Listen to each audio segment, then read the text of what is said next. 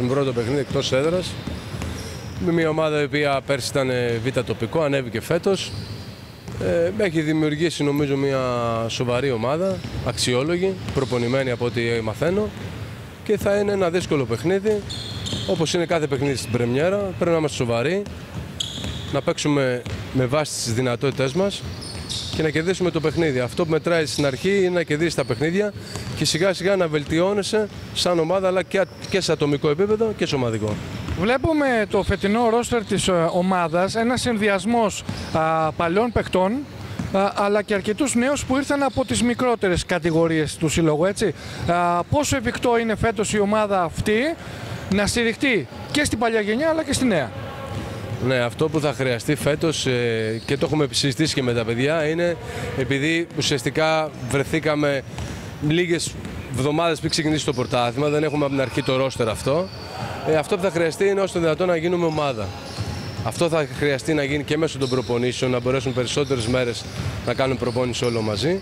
Αλλά και φυσικά θα χρειαστεί και μέσα από τα παιχνίδια να μπορέσει να υπάρξει μια εξέλιξη, να δεθούν οι παίκτες και οι νέοι που έχουν έρθει, αλλά και οι παλιοί που υπάρχουν στην ομάδα, για να μπορέσουμε να παίξουμε με βάση τις δυνατότητες που έχουμε. Δυνατότητες υπάρχουν, αλλά θα χρειαστεί χρόνος για να μπορέσουμε να αναδείξουμε αυτές τις δυνατότητες.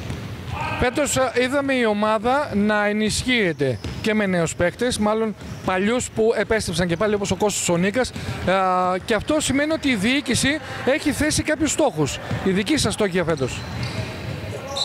Ε, αυτό που είπα πριν, για μένα, για μένα σαν προπονητής ο βασικός στόχος είναι να γίνουμε ομάδα. Γιατί υπάρχουν παιδιά που η μισή ήταν στην περσινή ομάδα και άλλοι μισή ήταν φέτος. Οπότε είναι πολύ σημαντικό αυτό το κομμάτι για μένα. Τώρα όσο αφορά τους στόχους που έχει θέσει η διοίκηση, αυτό που πιστεύω εγώ είναι ότι αυτό που θέλουμε να κάνουμε μια αξιόλογη πορεία. Ε, που σημαίνει όπως και πέρσι κάναμε μια καλή πορεία, να συνεχίσουμε να έχουμε ίσως και ακόμα και καλύτερη πορεία. Αλλά αυτό θα το δούμε ξεχωριστά, παιχνίδι σε παιχνίδι, μάτς με μάτς, να μπορέσουμε να βελτιωθούμε για να μπορέσουμε να φτάσουμε τις δυνατότητές μας που έχουμε και ατομικά αλλά και σαν ομάδα. Ακόμα δεν βρισκόμαστε στο 100%. Αντιλαμβάνεστε ότι είναι ξεκίνημα της χρονιάς.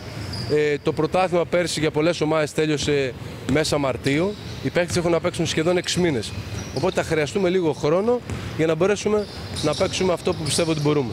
Να ευχηθούμε καλή πορεία φέτος, καλή δύναμη και πάνω απ' όλα υγεία σε εσάς και στους παίκτες. Να είστε καλά, το ίδιο εύχομαι και εγώ και σε εσάς.